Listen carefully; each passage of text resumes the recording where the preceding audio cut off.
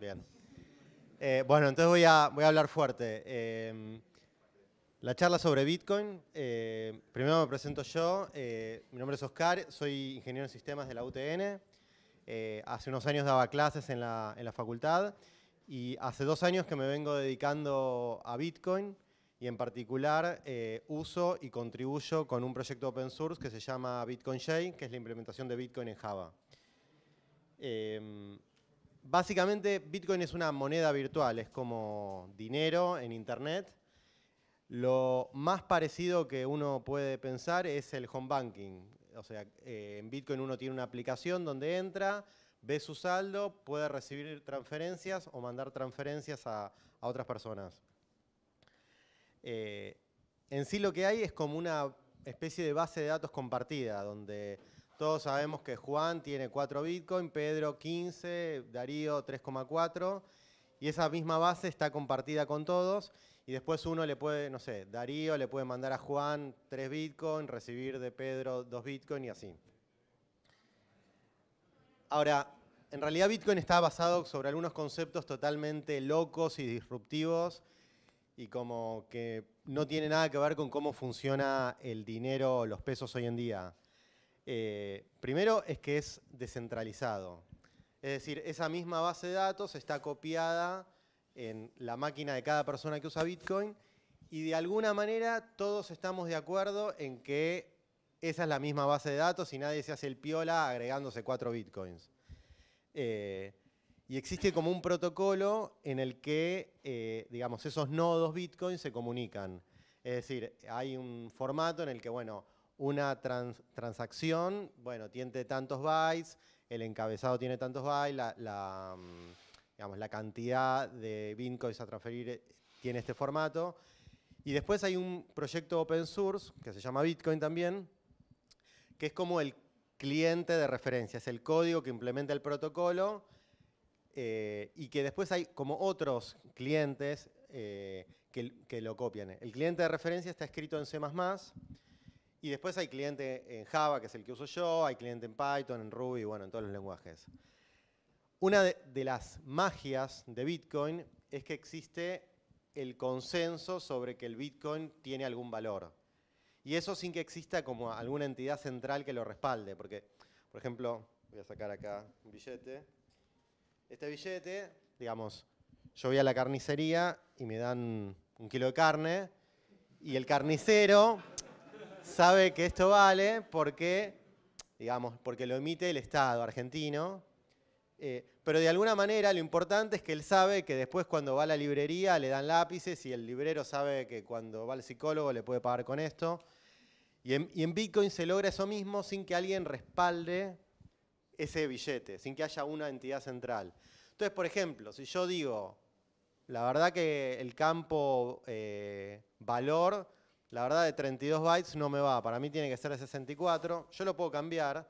El tema es que después bueno, tengo que empezar a convencer al resto de la gente de que el campo valor lo cambie también de tamaño. Si no convenzo a nadie, no pasa nada. El problema es si convenzo a la mitad de la gente. Si, si pasa eso, lo que pasa es que los bitcoins de la mitad no van a ser compatibles con los bitcoins de la otra mitad. Y lograr el consenso es algo muy difícil, porque todo el tiempo hay gente queriendo cambiar las cosas, hacer cosas más piolas, pero a la vez como que se destruiría el valor de la moneda. Entonces, justo ahora estamos en el medio de un quilombo en el mundo Bitcoin donde eh, las transacciones se agrupan en bloques que hoy tienen un tamaño máximo de un mega y hay gente que quiere agrandar eso. Y bueno, es un caos, hay congresos discutiendo sobre el tema. El tema de consenso en Bitcoin es como muy interesante y es muy, muy loco como hasta ahora no se rompió. O sea, como todo el mundo sigue diciendo, ok, estos son los bitcoins, este es el formato, los bitcoins tuyos son tuyos, nadie los toca. Creo que lo más loco de Bitcoin es esto que decía recién, que existe de alguna manera. Eh, Matías es, es mi sobrino, es programador, tiene 19 años, vive acá en Buenos Aires y labura para una empresa de Tailandia que le paga todos los meses 3 bitcoins. Eh, ese es su sueldo, 3 bitcoins. Y él va todos los meses, llama a una casa de cambio de bitcoins y le manda los bitcoins y le mandan 10 mil pesos, que es lo que vale 3 bitcoins. Y nada, como que no sé, a mí me parece re loco que eso pase, que de Tailandia llegue la plata. Tipo, la, plata no pasó por ningún banco, ningún intermediario. Eh, sin impuestos, ese es otro... bueno, esa es otra parte que también es otro debate que, lo vamos a dejar de fuera de esta charla, pero también es, un debate interesante en el mundo de Bitcoin.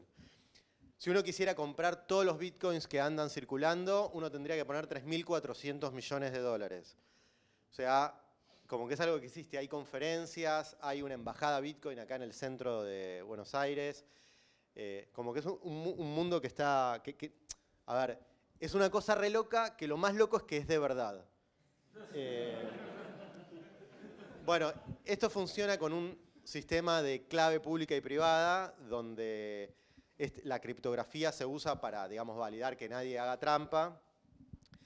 Y lo que les comenté antes, que, no sé, José tiene 20 Bitcoin, Pedro tiene 15, Juan 12, eh, eso es todo público. O sea, cada uno en su propia máquina tiene los saldos de todo el mundo. Y no solamente los saldos, sino tiene todas las transacciones que se mandaron. Entonces, lo primero que uno diría es, pará, o sea, yo puedo saber cuánto tiene Fernando, cuánto le pagan en la Facu. Eh, bueno, el tema es que uno sabe cuánta, cuánto hay en cada dirección o en cada cuenta, pero lo que no sabe es de quién es, porque cada cuenta es un seudónimo. Para, entender por ahí cómo funciona Bitcoin técnicamente, es más fácil pensarlo como si fuese oro digital que como dinero digital. Eh, después por ahí cuando les explique se va, se va a dar un poco más. Eh, bueno, esto no tiene control del Estado y fue inventado por un tipo que se hace llamar Satoshi Nakamoto. No sé si escucharon el nombre, ¿alguien escuchó el nombre Satoshi Nakamoto? No. Bueno, es una persona que se hace llamar así en las listas de mails, pero nunca nadie lo vio. Eh, el tipo tiene eh, más o menos mil millones de dólares en bitcoins. Y bueno, todo el mundo está tratando de averiguar quién es. Seguramente es alguien del ambiente de Bitcoin que tiene un nombre conocido, qué sé yo, pero la verdad es que nadie sabe quién es. Hace tres años que no aparece en ningún foro. Y bueno, nada, es más de las locuras de esto.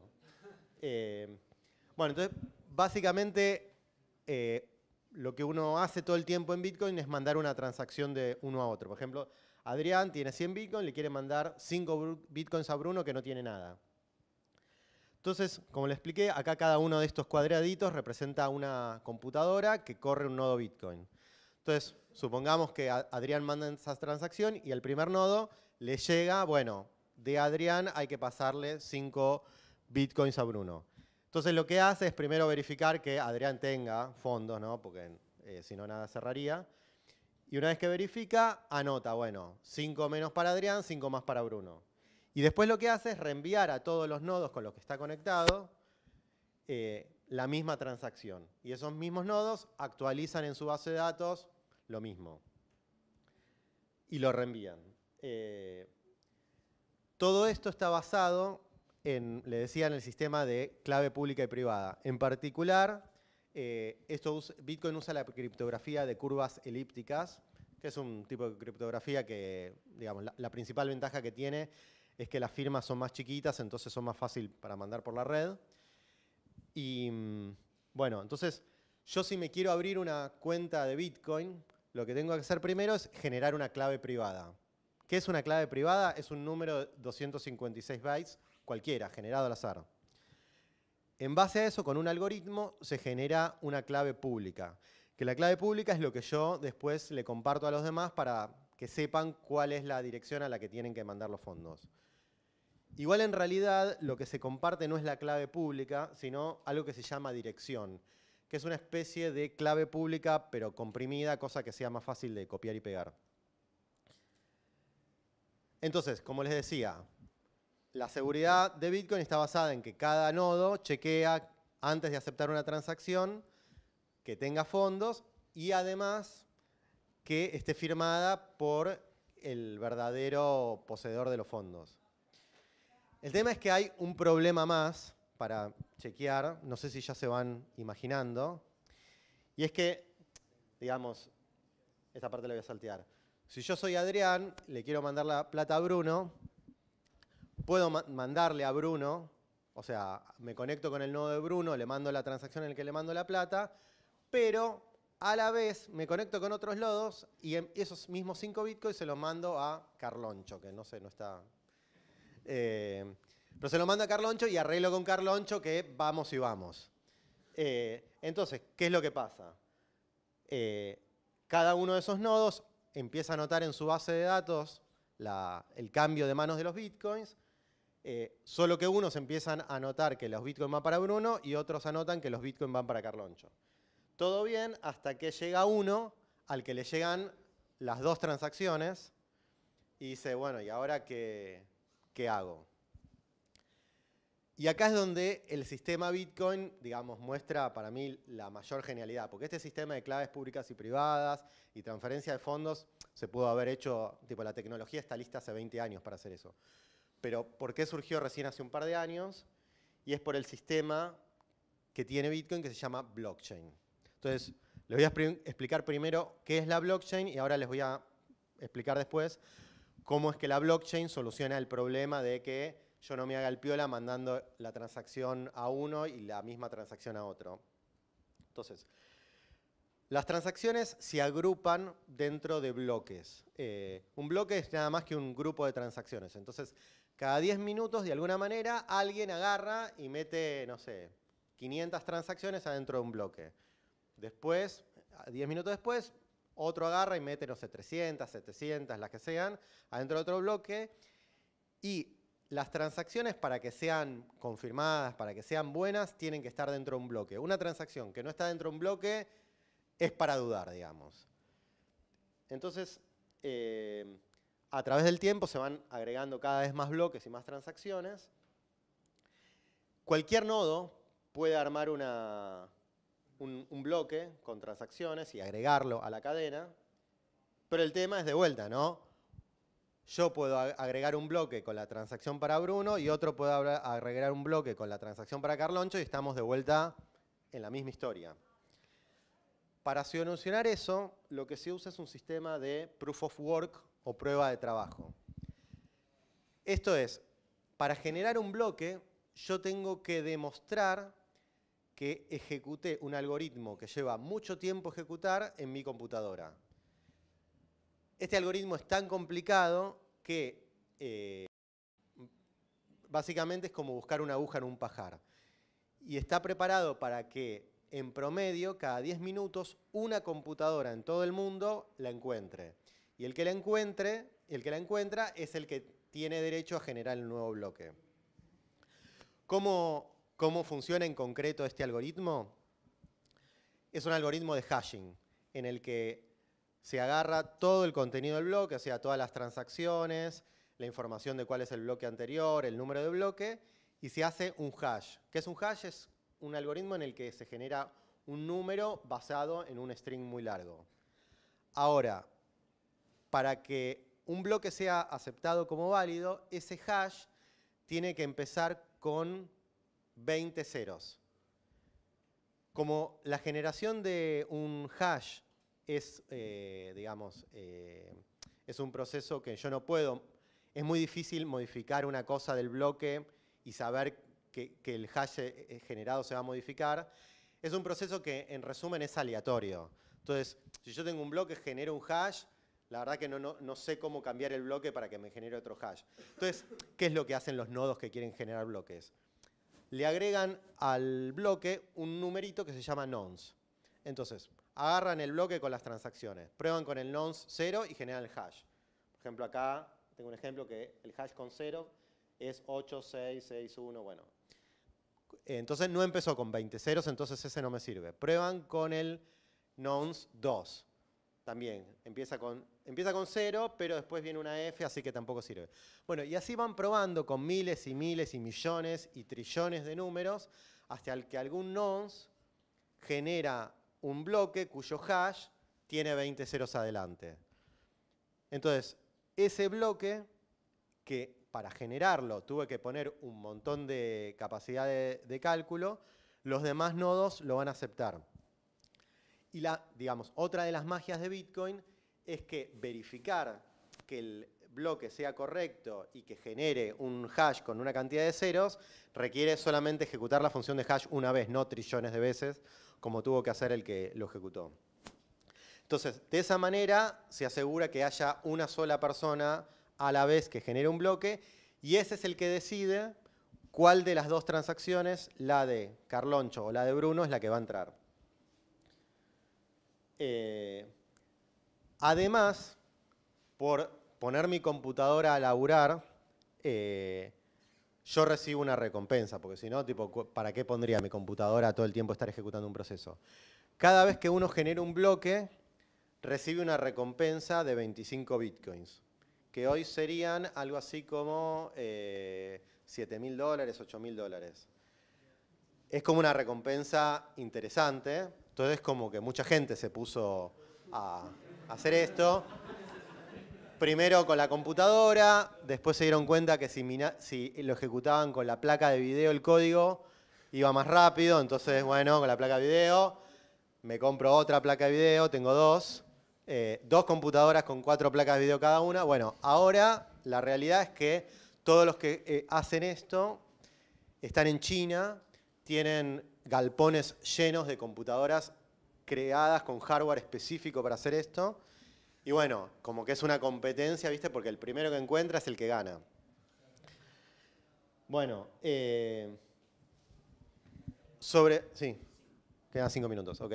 Sobre Bitcoin se empezaron a generar como más cosas. Una es multisignature, que es una cuenta de Bitcoin puede estar compartida con muchas personas. Entonces, para liberar los fondos o para transferir fondos a otra, tenemos que, por ejemplo, no sé, somos tres compañeros de laburo, los tres tenemos que firmar. A la vez, eh, sobre, no sobre Bitcoin. ¿Qué haces, Carlos? Eh, además de Bitcoin, se empezaron a generar otras, eh, otras monedas que son muy parecidas a Bitcoins, pero tienen diferencias. Por ejemplo, esto de que un bloque se genera cada 10 minutos, otro dijo, no, pará, yo voy a hacer una moneda, igual que Bitcoin, pero que los bloques se generan cada 5 segundos. Así que así no hay que esperar tanto hasta que se confirmen. Otro dijo, bueno, eh, quiero hacer una moneda, pero que en vez del algoritmo de hashing que usa Bitcoin, vamos a usar otro algoritmo. Bueno, y así hay 1500 altcoins dando vueltas, que cada una con su variante. Y hay una en particular, que no sé si llamarla un altcoin, pero es un proyecto dentro del mundo criptomonedas, que se llama Ethereum, que es muy interesante, lo hizo un pibe de 19 años en Canadá, que es nada, un genio, qué sé yo, y lo que permite este proyecto es hacer contratos inteligentes, del tipo, eh, se arma un contrato donde tu papá te dice, si te sacás 10 en algoritmos 1, te doy 4 bitcoins. Y ese contrato queda grabado en la blockchain, tu papá pone los 4 bitcoins y el día que rendís el examen, el mismo sistema chequea en el website de la facultad la nota y te manda los 4 bitcoins. Bueno, este, bueno, y así como eso, se pueden hacer un montón de contratos inteligentes de seguro de autos y de seguros de mil cosas, donde no haría falta que después esperar que el otro cumpla con su palabra, porque no habría forma, en principio, salvo hackeando algunas cosas, de, romper eso. Bueno, como les comentaba, yo laburo con un nodo de Bitcoin, con un eh, cliente de Bitcoin que se llama Bitcoin J. Está hecho en Java y su principal aplicación es para hacer eh, billeteras de Bitcoin en Android. Eh, una de las características que tiene es que es un nodo reducido en el que uno no verifica las transacciones de todo el mundo, sino solamente verifica las que le interesan a uno, y por eso es que puede funcionar en un, celular. Y además que el código es mucho más claro que el, código del cliente de referencia que está hecho en C++, que el código es medio, bueno, inentendible. Eh, esto seguro no se ve, pero hay tres, en, Bitcoin Chain hay tres como grupos de clases.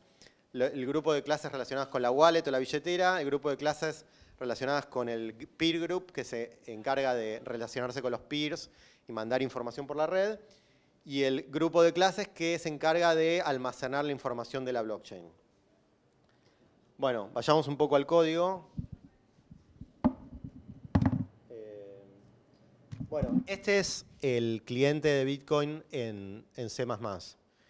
Y acá yo preparé un pedacito de código que usa Bitcoin J y levanta un nodo Bitcoin. Eh, básicamente lo que hace es conectarse con el otro nodo de C++, eh, lo arranca, imprime cuál es mi dirección Bitcoin y eh, registra un listener de manera de que cuando llegue un nuevo bloque, escriba, bueno, llegó un nuevo bloque. Entonces voy a correr este proceso.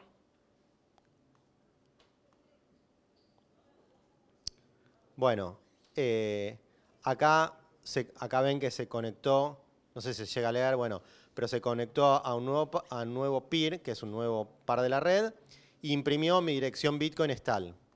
Entonces lo que voy a hacer es con una mano tratar de copiar esto y ir acá. Gracias. Pegar y mandar tres bitcoins.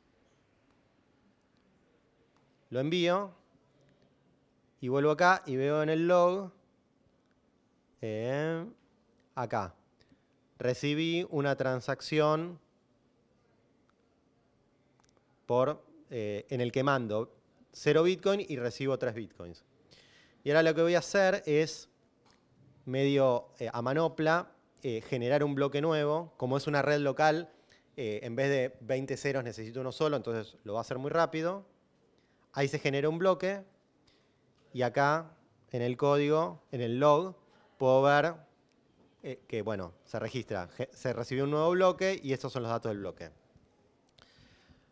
Volvamos. Eh, bueno, resumiendo, eh, Bitcoin es una moneda virtual, es peer-to-peer, es a la vez un protocolo en el que los nodos se, conectan y a la vez Bitcoin también es, un código open source de referencia.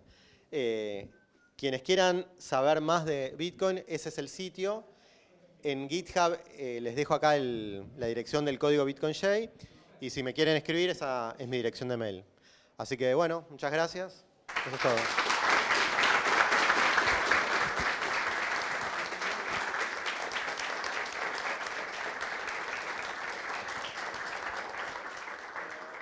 Mientras hacemos el setup del resto de la próxima charla, eh, podemos responder un par de preguntas, eh, pero bueno, tenemos que cortar rápido porque si no, no almorzamos.